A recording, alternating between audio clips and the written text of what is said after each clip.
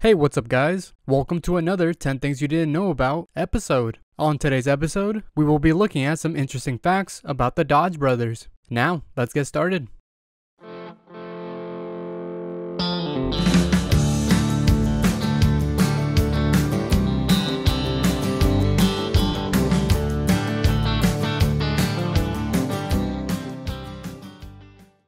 Number 1. A famous composer wrote a tribute to the brothers. The Detroit elite turned out to be a tough crowd when John and Horace Dodge were trying to establish themselves as newcomers. Horace was denied entry to the country club, which prompted him to build an enormous, over the top mansion on a piece of land directly next to it. Horace loved boating, and that was one way he made some connections. But one of the things he is most remembered for is his generous support of the Detroit Symphony Orchestra. He and his wife made some significant donations to the organization and are largely responsible for the fact that the symphony still exists today. After Horace's passing, famous composer Victor Herbert wrote a piece of music called The Dodge Brothers March as a tribute to the brothers. Number 2. The Dodge family's North American roots started back in 1629 on the East Coast.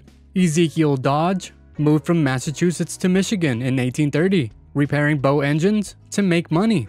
His son Daniel eventually took control of the business, evolving the company into an engine repairing and building service. Daniel's sons, Horace and John, soon picked up on their father's enthusiasm for motors. They followed their father around the shop, learning all they could about mechanics. The pair were two red haired urchins who spent many hours at their father's side, learning the machinist's trade. John was the quieter of the two and the better machinist. Horace was the leader and the financer, making sure that no one took advantage of the pair. The brothers were inseparable.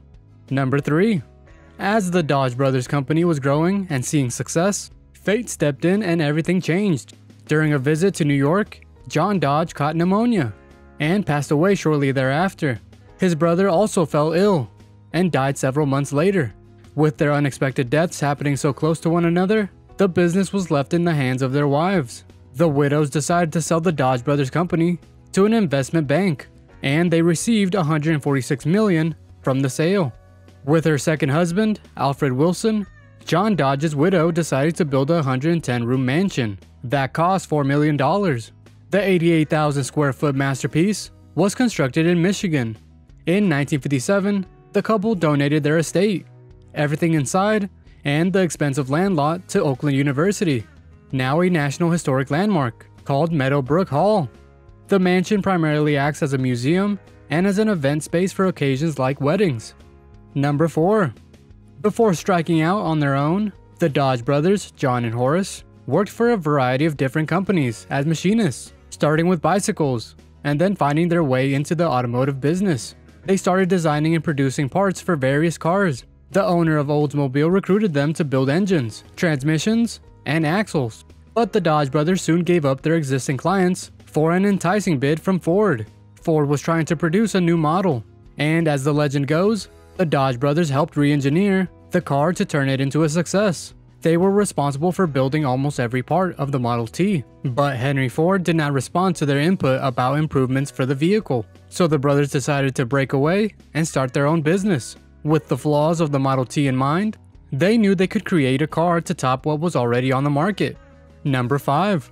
When John Francis Dodge and Horace Elgin Dodge first started the company, they weren't producing automotives. Instead, they were producing automotive equipment, selling their parts and accessories to various car makers in the Detroit area.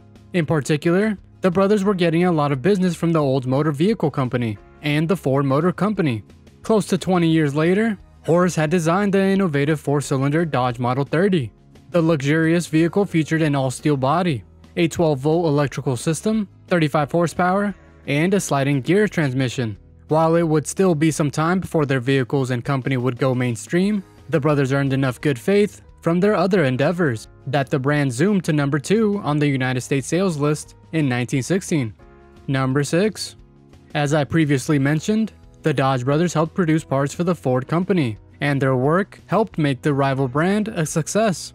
As the brothers were producing vehicles, Henry Ford approached the pair about the Model T.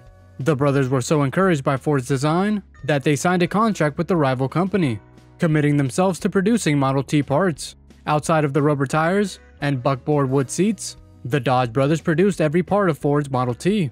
The relationship ultimately ended when Ford built his own plants in Detroit, making the brothers essentially useless. Furthermore, Ford stopped paying the brothers their stock dividends, resulting in a 25 million win for the Dodges in court. They had the last laugh when the brothers used the designs for the Model T to produce the Model 30. You can guess which vehicle proved to be the most successful. Number 7.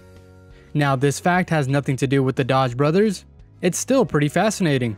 The 2014 Ram 1500 was the first compact pickup to offer a diesel engine. While there was generally a demand for these types of vehicles, no company relented on their general standard gasoline engine. Dodge finally released their Ram 1500 with a 3.0 liter, 6 cylinder turbo diesel engine. The vehicle could deliver 240 horsepower and 420 foot pounds of torque, both impressive specs when considering the use of diesel, and well, the fact that the Ram is a heavy duty truck. Furthermore, the vehicle offered a maximum payload of 1600 pounds and a towing capacity that could max out at 9000 pounds. Perhaps most importantly, is the vehicle's fuel economy. We know the apprehension that consumers have when they consider a diesel fueled vehicle, as their budgeted gas money will quickly be thrown out the window. Dodge remedied this to the best of their ability, offering a 28 mile per gallon fuel economy on the highway, which was a better number than any similar sized truck on the market. Number 8. The brothers were inseparable. That couldn't have been more truer, and there certainly wasn't any sibling rivalry. The two briefly worked separately in the late 1880s, but they were soon job hunting together. They eventually joined Detroit's Iron Works in 1886. Before the turn of the century, the duo also worked for Fred S. Evans in an attempt to produce a bicycle using the Evans and Dodge nameplate. Around the same time, Horace's patent for dirt-proof ball bearings was a hit in the industry, but he didn't take full credit. He shared the bill with John, this surely convinced the brothers that they should be opening up their own business, and the duo opened their own Detroit based shop in 1902. As mentioned before, they sold car parts to several automakers, and eventually their high quality products soon caught the eye of Ransom Eli Olds, the producer of the Oldsmobile. Ransom Eli Olds tasked Horace and John to produce thousands of engines and mechanics to help improve the Oldsmobile. With the brothers on board, the sales soon bumped to unbelievable numbers. Of course, the inseparable duo may have let their teamwork get a bit to their head. They often wore the same suits, and they refused to read mail that wasn't addressed to the two of them. Number 9. When the Dodge brothers first opened its doors, they weren't producing the strong powerhouse trucks they are today. They started by building bikes in Windsor, Canada. Horace Dodge and John Dodge finally set up the Dodge Brothers machine shop in Detroit just after the turn of the 20th century. This was due to the successful deal brokered for their ball bearing bicycle patent. Then you may think the next, more natural step would be to move to automaking. But that's not exactly what happened, at least not right away. The Dodge Brothers shop also started manufacturing stoves. This didn't last long, and they finally found their true calling, and became what eventually became one of the biggest automakers in the world. Number 10.